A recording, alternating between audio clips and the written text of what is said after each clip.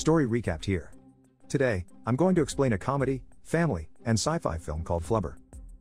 Spoilers ahead. Watch out and take care. A ringing alarm clock wakes up Professor Philip Brainard. He tries to turn off the alarm but hits a button instead, and a trash bin launches into the sky and lands precisely by the curb.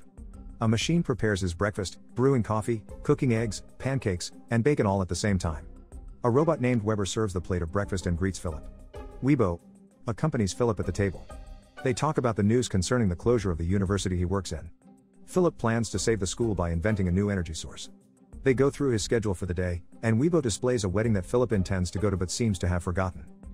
Dr. Sarah Jean Reynolds fits her wedding dress while answering a call. She talks to her colleagues about how this time around, Philip can't miss the wedding. Philip enters an art class, not realizing that he's in the wrong room. He discusses Newton's law of gravitation, but he doesn't seem to notice the gravity of what's happening in front of him. They look at him judgingly. Philip is still oblivious and even finds a connection between the naked models and physics. He finally realizes when the blackboard reveals that this is another professor's class. Outside, Sarah calls Philip, admiring his goofiness. His awkwardness further shines as when Sarah's friend mentions the wedding, he replies by congratulating her. Sarah feels kind of annoyed that Philip doesn't remember. She reminds him that today is their wedding. She asks him to promise that he'll be there and says that this is her last try at marrying him. If he doesn't show up, it'll be apparent that Philip's incapable of loving something other than his books and gadgets. Philip works with a complex array of chemicals and lab equipment. Wilson enters the room and asks Philip what he's doing. Philip tries to act friendly, but the underlying conflict is evident in how they interact. Wilson talks about the news of the university closing. Philip asks him to leave, which prompts Wilson to ask about what happened to their friendship. Philip says that he grew tired of him stealing his ideas. Wilson rebuts that he wouldn't have been able to do anything with it because of how bad his memory is, calling him a genius in the lab but a moron in everything else. Wilson announces his plan to steal his fiancée. Philip wishes him good luck and winks as he leaves a laughing Wilson. At home, Philip tries his shirt and vest on while chatting with Weebo. He catches a glimpse of his computer and sees an equation that causes a eureka moment. Philip finally discovers a breakthrough and immediately works on it. Weebo, feeling ecstatic, cancels the wedding for him. Philip goes down to his laboratory, and after a few adjustments and double checking, drops a strand of his hair to act as an organic catalyst to the brewing chemicals in the container. They distance themselves from the contraption before activating it. He pushes down on the device, and after a moment, everything explodes. A stained Weebo laughs at the surprised Philip. He cleans up his glasses to see the mess he created. Sarah looks out the church's window with tears falling down her face. Wilson smiles as he realizes Philip himself is the one that sabotaged his wedding. The night comes, and Philip is frustrated with his failed project. As he climbs the steps, steam starts spewing out of the container. Philip turns back to take a closer look. He carefully opens it up, and Flubber, a green blob, jumps out. Philip tries to touch it using his bare hands, and the slime oddly communicates with him. He tries to figure out what Flubber is. It's malleable, able to shapeshift, and prone to tickles. Philip stretches Flubber like a child playing with a new toy. He drops Flubber, and it bounces. It separates into three, and Philip performs a circus act while Weibo watches in awe. She takes a picture of them, the camera flash aggravates Flubber. The slime bounces all over the place, but Philip dodges it. The slime travels through the basement doors and the two rush after it. They observe as it bounces around the neighborhood, leaving destruction on its path. Flubber enters a home and separates into countless pieces causing more mischief. They submerge into black ink and bounce all over the place, instantly painting a masterpiece. Flubber is an extremely smart entity that seems to be indestructible. With a baseball glove, Philip finally catches Flubber. Flubber overpowers Philip and knocks him out cold. Wilson leans on his car outside the church, waiting for Sarah to exit.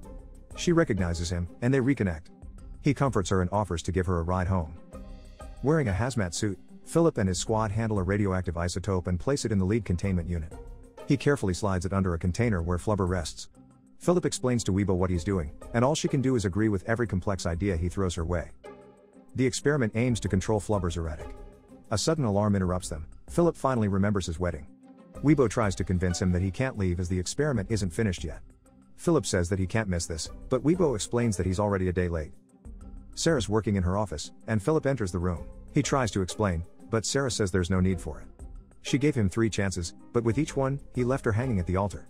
Philip shows her Flubber, thinking that will make her forgive him. She ignores him, but Philip doesn't give up.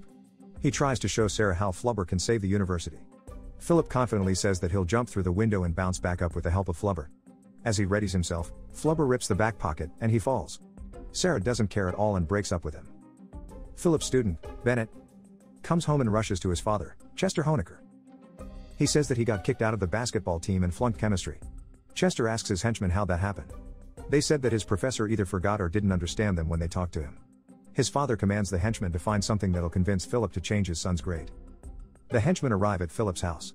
Meanwhile, Philip's busy performing another experiment. The henchmen observe him through a window.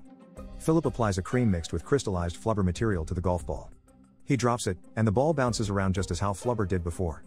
It coincidentally hits one of the henchmen, leaving him disoriented. He repeats the process with a bowling ball. It goes flying once again and hits the other henchman. They lay there with red bumps on their head. Philip fills a spray bottle with the mixture and squirts some on the floor outside. The henchmen attempt to leave, making a run for it, but are surprised when the ground flings them up. In his garage, Philip makes some modifications to his automobile. He gets in the vehicle and takes his decked out car for a ride. He and Weebo float through the neighborhood, smoothly sailing while they jam out to the radio. After some twists, turns, and loops, they stop to admire the night sky. Philip turns off the ignition, and they start to fall. Philip then starts the car back up right on time. Philip hovers above Sarah's home to see her and Wilson drinking wine on the porch. As he's about to leave, Wilson leans in for a kiss. Sarah turns her cheek, and Philip sighs in relief.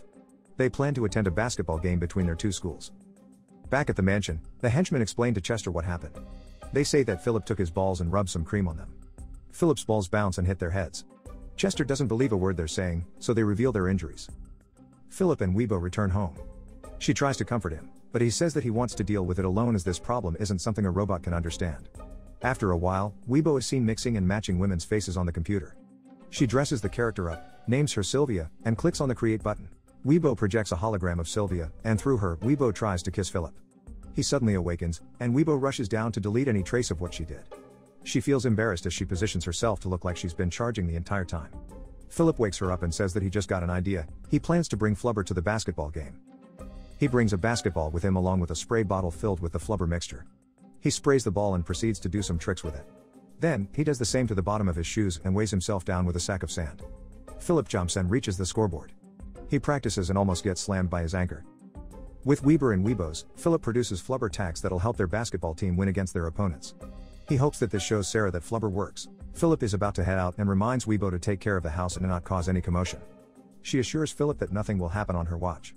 However, as he drives off, she lets out a chuckle indicating that she's planning something. In the locker room, Philip applies the flubber tacks onto the bottom of the shoes. The game starts, and they look like kids up going up against grown men. Back at the garage, Weebo opens up the containment unit of flubber, and it comes rushing out. At the basketball game, the opponent takes a commanding lead. Philip sits behind Sarah and Wilson. He cheers for the team and blows his air horn next to Wilson's ear. Chester, Bennett, and their henchmen sit courtside, watching the game. Philip rubs his hands with the flubber cream mixture. He puts his palms together, then accidentally hits two people behind him. The team heads out. Philip shakes their hands one by one, transferring the flubber powers to them all. The ball is inbounded up high and to everyone's surprise, a boy rises and snatches it. He passes it to his teammate, and he dribbles the ball at incredible speeds. Big Lawrence drives to the rim but falls as his defender gets on his way. As his butt touches the floor, he gets launched up and faceplants on the backboard. The ball, however, circles the rim and falls in. Everyone is in shock as the entire team leaps through the court and scores again. The boy shoots the ball on the free throw line, it ends up bouncing back and forth both rings, eventually going through the hoop. An overjoyed Philip celebrates by hitting Wilson's head. The game proceeds, and Philip's school's team is near winning. A player sitting on the bench notices the tack on the shoes. He takes them off, which alarms Philip. He rushes to the team before the kid removes any more of it. Philip gives him a pep talk and cleans the bottom of his shoes. He throws the towel, and it conveniently lands on Wilson's face. Philip tells him that no matter what, he has to jump or else he'll fail him in his class. The clock runs down, and an opponent shoots an open jumper. The boy jumps and grabs the basketball. He somersaults his way to the other side of the court, scoring the buzzer beater. The game ends with Philip's school winning. The crowd celebrates, and Sarah leans in for a hug with Philip, but Wilson interrupts them. Chester deduces that Philip has something to do with what happened, and his henchmen support his theory. Sarah and Wilson leave to continue their date. Philip barges in and asks to talk to Sarah alone, but Wilson refuses. An enthusiastic Philip admits to Sarah that it was Flubber that won them the game. He thinks that this will win her over, but she just acknowledges him, showing no feelings at all. On his way home, Chester sees Philip's flying car. A sad Philip enters his home. He opens up to Weebo about how much he regrets not caring more about his relationship with Sarah. Philip attributes his absent mindedness to the fact that Sarah takes up every space in his brain and his heart. Feeling hopeless, he accepts that he has lost Sarah. Weebo tells him not to give up, but Philip thinks that this is the best for Sarah, saying she deserves someone better. Weebo reflects and gathers the strength to bring Philip and Sarah back together. She arrives at Sarah's home and tries to enter through the window. Sarah notices her outside and invites her to come in. Weebo shows Sarah a recording of their conversation earlier. Her eyes sparkle when he hears how much Philip loves her. Sarah appears in Philip's room, and they kiss passionately. A fulfilled Weebo gives them privacy. The two ride the flying car and talk about how Flubber can help save the university. Philip suggests that they produce shoes, but Sarah says it's the flying cars that will fetch them a fortune. They return to the garage, and Chester and his goons greet them. He opens up the hood and sees the mechanism behind the flying car. Chester offers them a deal, but Philip asserts that they have no intention of selling him the car. They give up a chance for the university's debt to be forgiven, and Chester leaves with nothing in his hands. The car flies through the fields and arrives at the Ford headquarters. A receptionist enters a man's room and asks if he's interested in seeing Philip's car design. He refuses to meet but then hears a honk from outside his office. Philip and Sarah greet him and shows him a for sale sign. Chester's henchmen break into Philip's home. Weebo finds them looking for something in the basement, destroying equipment in the process. One of the henchmen sees Flubber. Weebo comes rushing in, knocking one of the henchmen out. She then hides and carefully calculates her attacks. The other henchman makes a run for it, but Weebo hunts him down with ease. She sees the other standing and rushes towards him, only to be met by a baseball bat, knocking her out. The henchmen then take Flubber. Philip and Sarah return to Philip's ransacked home. Philip tries to call Weebo, but she doesn't answer. He notices that Flubber's gone and finds Weebo. His eyes tear up as he tries to talk to her. Weebo can't speak, but she signals that she knows they're there. Philip holds her in his hands and assures her that she'll be alright. Philip says that he just needs to make repairs, and she'll be back to normal. However, deep down, he knows the damage is too severe, and his words only act as a means to comfort her.